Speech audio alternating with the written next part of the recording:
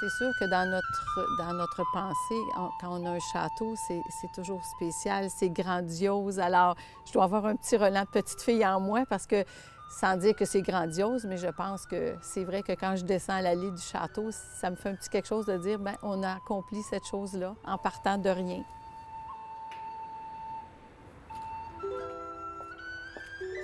Bienvenue au Château Taillefer-Lafont. Notre père était notaire, évidemment, et il venait d'une famille de producteurs maraîchers. Alors, il y a des, familles taillefer dans Laval depuis le début du 19e siècle et c'était des producteurs maraîchers.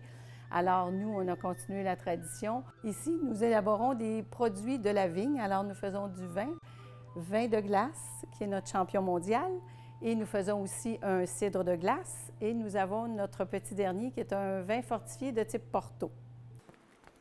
Nous sommes dans la salle des cuves. Alors, nous avons des cuves en acier inoxydable comme la méthode californienne.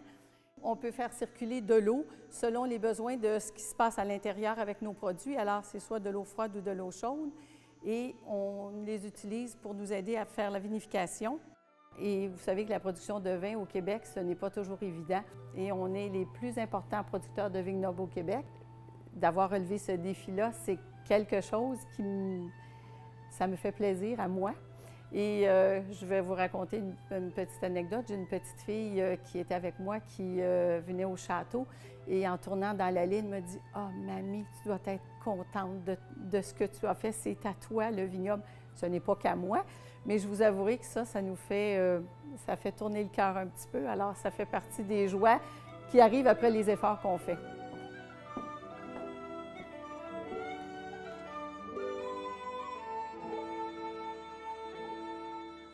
Alors, je pense que ça ajoute un élément particulier à Laval parce que c'est sûr qu'on est en, zone urbaine. Alors, d'avoir quelque chose qui est qui, qui, rappelle la campagne en étant à proximité, je pense que c'est un plus.